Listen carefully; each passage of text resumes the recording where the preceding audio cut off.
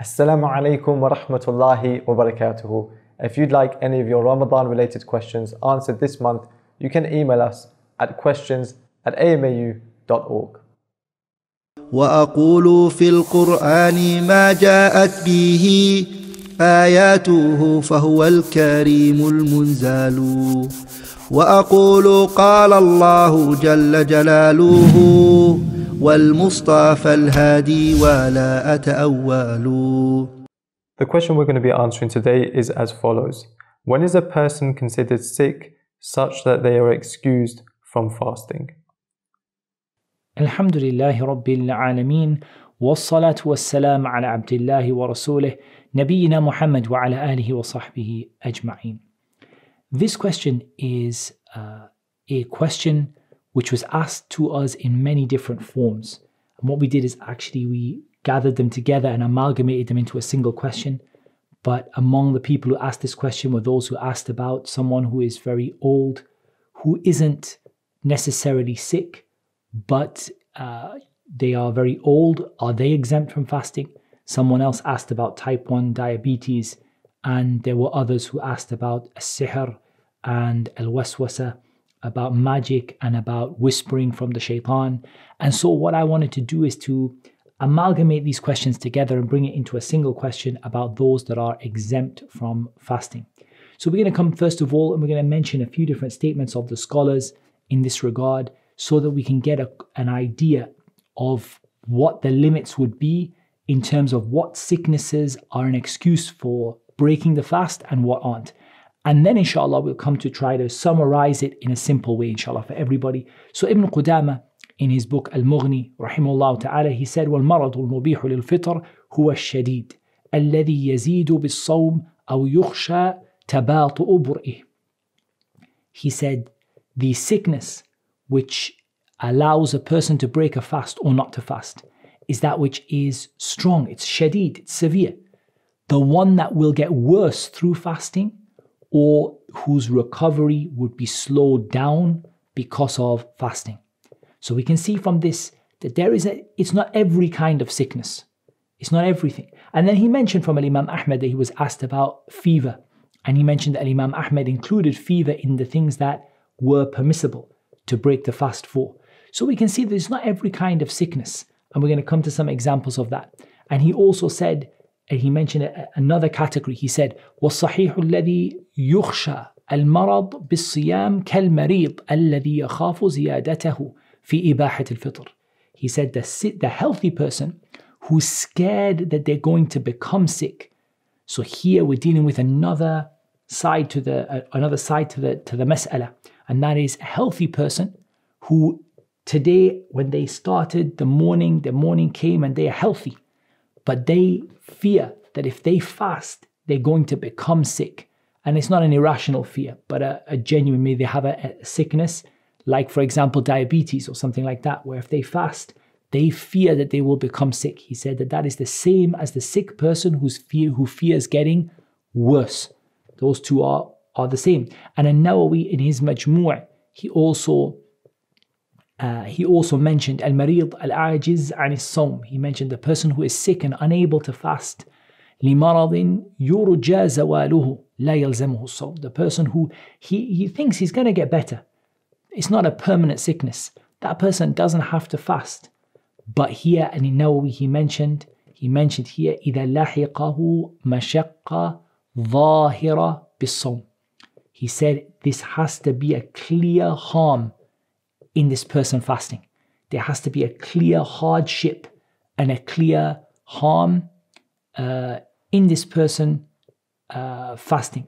Then he said, Rahimullah ta'ala, وَأَمَّا الْمَرَضُ الْيَسِيرُ الذي لا يلحق به مشقة ظاهرة لم يجز له الفطر بلا خلاف عندنا he said the person who has a very small sickness that really isn't any great hardship for that person to bear, it's not allowed for them to break their fast, and there is no diff- disagreement in this issue among us, among the, the ulama of the Shafi'iyah. There is no difference in this among uh, in this example. And Shaykh ibn rahimullah ta'ala, he gave some examples of the sicknesses which are very mild and which you can't break your fast for. He said, Al-marid alladhi la yata'atharu bis The sick person who doesn't actually get affected by fasting.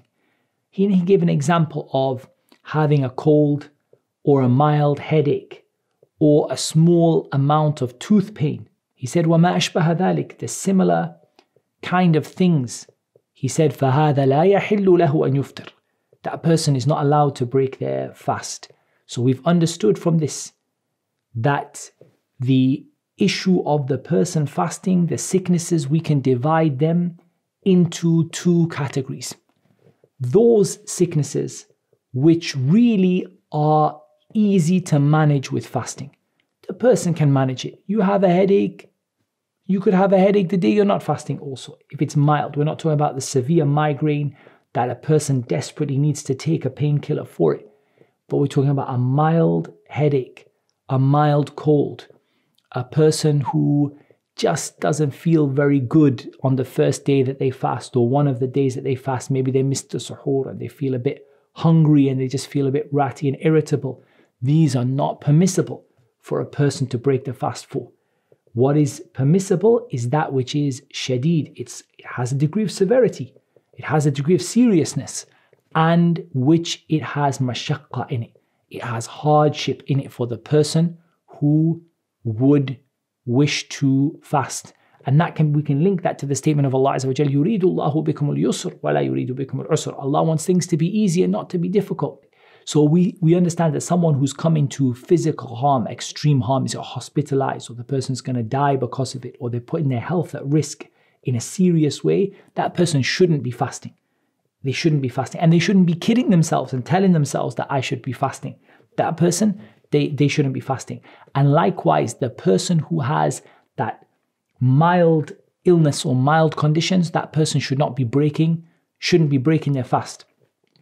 So here we can categorize some categories here. We can bring and, and summarize and talk about some categories. We can say the, the sickness which is going to get significantly worse or the, the cure for it is going to become significantly delayed. That's one example of a sickness that you should not fast with.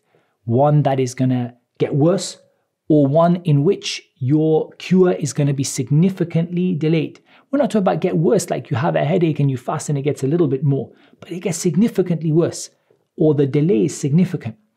The second one is that which there is mashaqqa shadida. There is hard, great hardship for the person to fast in that situation.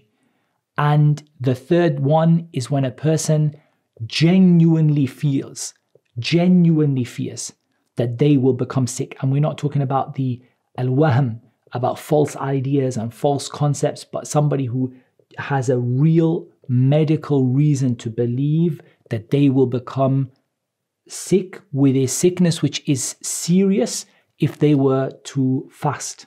If they were to fast. And that's why uh, here the scholars they don't require necessarily that it is a shart for the person to go to the doctor. But many times in the fatwa of the scholars, you see that they advise the people to go to the doctors and ask them.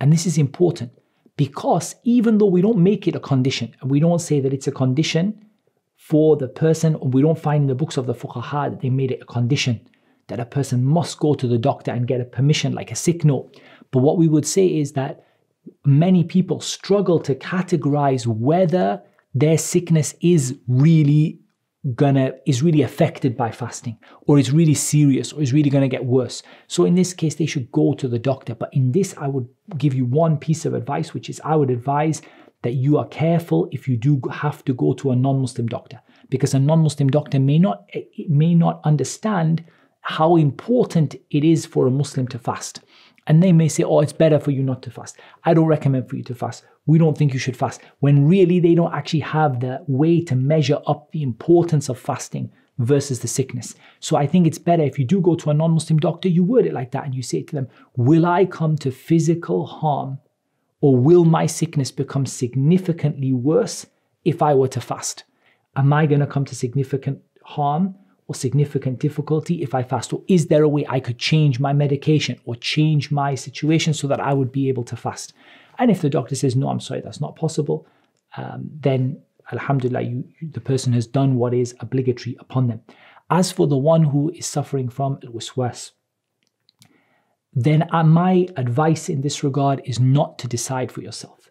Because the one suffering from sihr and uh, jinn, uh, being possessed by the jinn, and the similar kind of uh, sicknesses, the shaitan has a degree of hold over them. And that degree of hold over them or influence over them, it could lead a person to go away from obedience to Allah because of what the shaitan wants. And the shaitan tells you it's hard for you to fast, you can't fast. So, my recommendation would be this decision should not be made by you.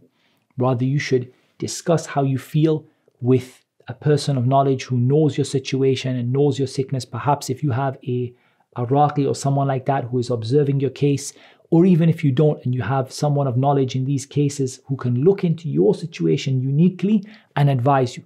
Because I fear that a lot of people who have waswas, the shaitan will tell them not to fast and make them feel as though they can't fast, when in reality, the only one that would come to harm is the shaitan. And if we look at the issue of the uh, sicknesses being those which are going to delay the cure, or the cure is going to become delayed, rather we feel the opposite. The one who has wiswas, sihr, al-mas, this person, it, it is believed and hoped that their cure will speed up through fasting, not slow down through fasting. And there remains one issue because type 1 diabetes was mentioned, and type 1 diabetes is a kind of sickness which is what one of the, the things the scholars talk about al-imrad al-muzmina, the sicknesses which don't get better. Usually speaking, generally speaking, they're sicknesses that don't get better. And in this, uh, a person is not required to make up the days because they can't make up you can't make up uh, any days if you believe that that it's it's not likely you'll ever be able to fast so you can't then make up the days so what you have to do is you have to feed a poor person nisfa sa' half of a sa' uh, you could measure it at one and a half liters or many of the scholars said that you can approximate it at one and a half kilograms and here uh, there comes another question which a person might ask which is that if I believe that I have a sickness that can't be cured, let's say type 1 diabetes, and I believe it, it's not going to be cured. And then what happens is later on, I receive some experimental treatment or I go to a different doctor and I realize that I can fast. I take a different kind of insulin or have a different kind of tablet or a different kind of injection, and I realize that I'm able to fast. Then, in this case, what do I have to do? So, in this, the scholars differed over three opinions. And it seems to me that the correct opinion is that the person does not have to make up those fasts from before, but they only had to have paid the fidya for it. That's enough. If they paid the nisfu sa' for every day that they didn't fast, then inshallah after that, the uh, when they're able to fast again, they, they fast inshallah.